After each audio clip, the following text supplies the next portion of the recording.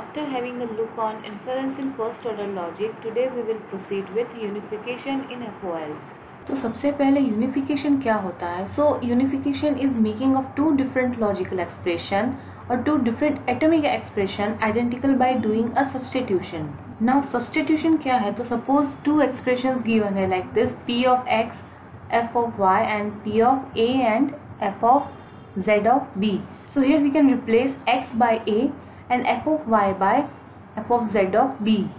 simply हम x के बदले a लिख सकते हैं एंड एफ़ ऑफ़ y के बदले we can write F of Z of B so substitution variables are called most general unifier और एन जी यू सो हम एक एग्ज़ाम्पल देखते हैं लाइक टू सेंटेंस गिवन है, जो सेंटेंस वन है king of X and sentence two है कि किंग ऑफ़ बोज तो यहाँ यूनिफिकेशन के लिए सब्सटीट्यूशन क्या पॉसिबल है? तो we can replace this X by Bhoj so this is our substitution so we will see some more examples regarding substitution so again दो expressions given है p of xy and p of a and f of z so yes we can easily replace this because x can be replaced by a and y can be replaced by f of z now second expression क्या है कि p of x and f of y and P of A and F of Z तो again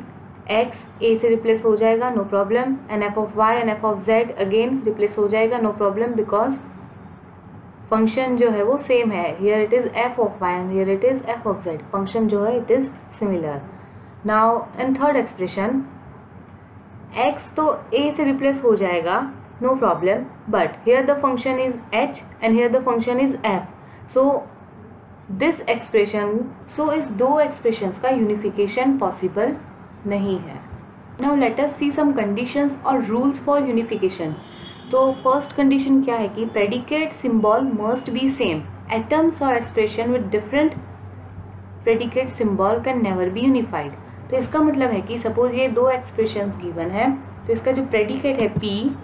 and here it is also P so predicate same होना चाहिए। Now The second condition is number of arguments in both expressions must be identical. That means कि suppose कि इस expression में दो arguments है one and two and is and here also दो arguments present है one and two so unification possible है but suppose करो कि सेकेंड एक्सप्रेशन में तीन आर्ग्यूमेंट्स गिवन होते हैं यहाँ दो आर्ग्यूमेंट्स तो we can not unify this type of expressions now अब थर्ड एंड फाइनल कंडीशन ये है कि unification will fail if there are two similar variables present in the same expression तो सपोज़ यहाँ पे प्रेजेंट है कि P of X and F of Y and suppose कि प्रेजेंट हो एंड सपोज़ कि प्रेजेंट होता P of X comma X मतलब कि two similar variable X comma X एक ही एक्सप्रेशन में प्रेजेंट होते तो unification will definitely fail so now in next video we will see algorithm and implementation of unification with some more examples